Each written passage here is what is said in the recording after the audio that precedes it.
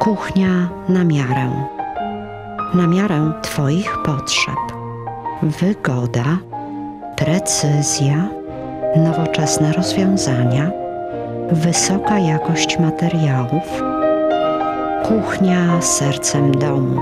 Zrobimy ją dla Ciebie na miarę Twoich oczekiwań. Wenus, Suwałki, ulica Podchorskiego 10. Zapraszamy.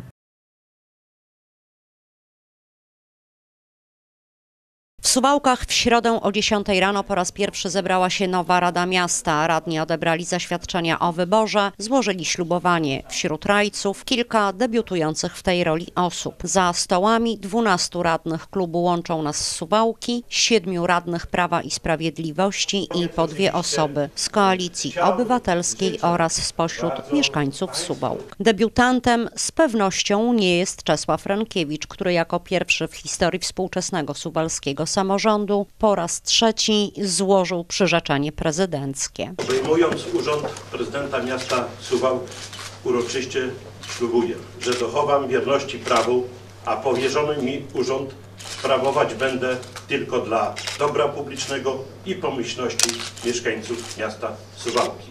Tak mi dopomóż Bóg. Po zakończeniu ślubowań Renkiewicz kilkadziesiąt minut mówił o dotychczasowych osiągnięciach miejskiego samorządu i szeroko przedstawił plan działania na najbliższe pięć lat. Dotknął niemal każdej dziedziny życia społecznego Suwałk. Wskazał na trudny budżet, na problemy dotyczące jakości edukacji, na potrzeby oświatowe, ale zapowiedział również kilka zmian, między innymi plan wprowadzenia bezpłatnej komunikacji miejskiej. Wyraźnie podkreślił, że w nadchodzącej kadencji mniejszą wagę chce przykładać do dużych inwestycji i potwierdził, że w rozpoczynającym się pięcioleciu chce bardziej zadbać o jakość życia mieszkańców niż infrastrukturę, choć jedno z drugim w zasadzie jest nierozerwalne. Stwierdził, że jego ambicją jest wprowadzenie Suwałk do pierwszej ligi polskich miast. Kolejnym punktem uroczystej pierwszej sesji był wybór przewodniczącego Rady Miejskiej oraz jego zastępców. Kandydatura Zdzisława Przełomca, zgłoszona przez największy w Radzie klub, łączą nas Suwałki, mający samodzielną większość, była tak zwanym pewniakiem. Niespodzianki personalnej nie było, ale nawet Zdzisław Przełomiec zdawał się być zaskoczony 23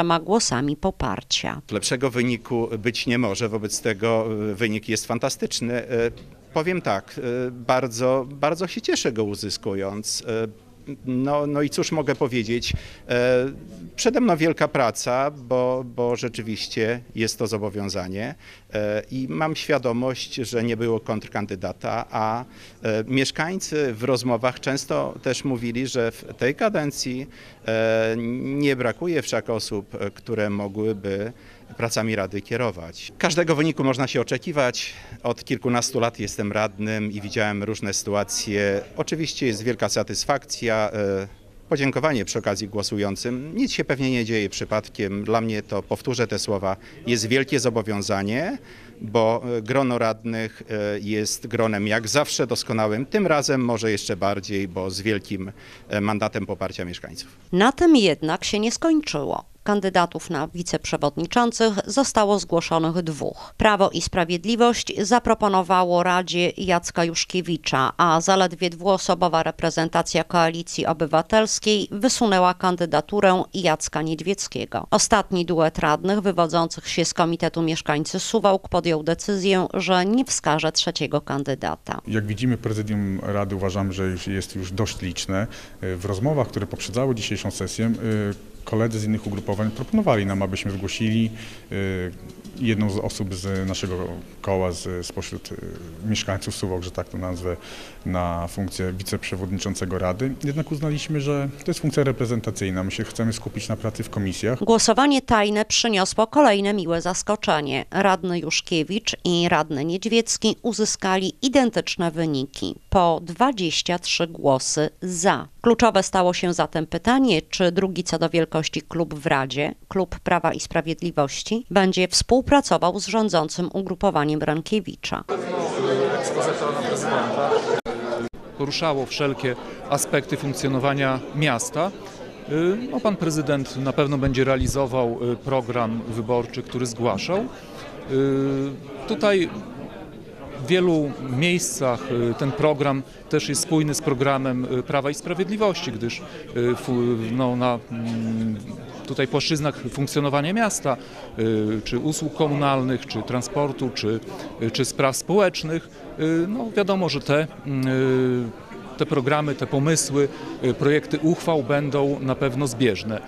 Program Prawa Sprawiedliwości w wielu punktach jednak różni się trochę no może nawet nie trochę, a w wielu punktach zasadniczo różni się od y, projektu, od programu pana prezydenta, więc tu na pewno też będą y, zawsze trwały dyskusje i próby mm, dojścia też do jakiegoś wspólnego y, konsensusu w niektórych akurat tutaj sprawach dotyczących mieszkańców czy spraw naszego miasta, spraw społecznych. Czy zatem istnieje szansa na zjednoczenie ponad podziałami nie tylko na sali obrad? O ile będzie mm, to możliwe, będziemy na pewno y, starali się y, też w jak najszerszym y, tutaj mm, takim kręgu mieszkańców Suwałk te uroczystości obchodzić. I też będziemy zawsze dążyli do jedności, a nie do podziału. Pozostaje życzyć radnym, ale przede wszystkim mieszkańcom, aby dobro właśnie mieszkańców i miasta było dla wszystkich dobrem najważniejszym.